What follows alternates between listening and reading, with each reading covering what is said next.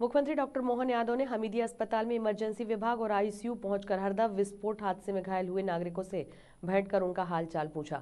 मुख्यमंत्री डॉक्टर यादव ने घायलों के शीघ्र स्वस्थ होने की कामना की और चिकित्सा विशेषज्ञों से किए जा रहे इलाज की जानकारी प्राप्त कर घायलों के समुचित उपचार के निर्देश दिए। मुख्यमंत्री डॉक्टर यादव ने चिकित्सकों से कहा कि घायलों के बेहतर उपचार में कोई कमी नहीं रहना चाहिए। उन्होंने घायलों को आश्वस्त किया कि उनका अच्छे से अच्छा इलाज होगा।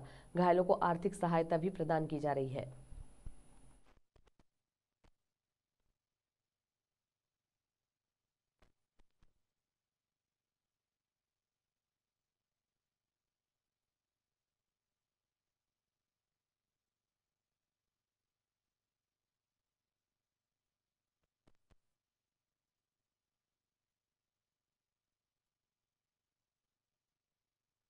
देखो 12 मरीज़ यहाँ लाए गए थे।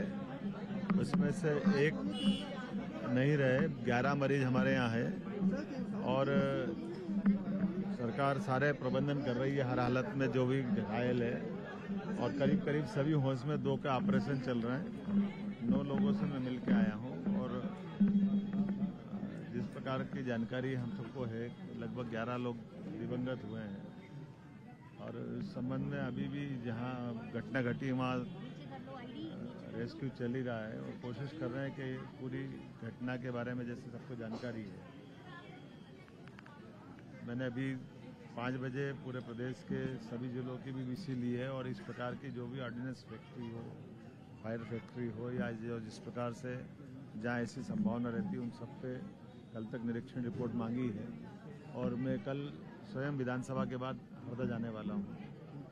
एक बार मौके पे जा करके देख करके फिर आऊँगा। मैंने जाँच के आदेश दिए हैं, उसके बाद बताएँगे सर हंड्रेड परसेंट करेंगे, कड़ी कार्रवाई करेंगे और कार्रवाई ऐसी करेंगे कि उनको भी याद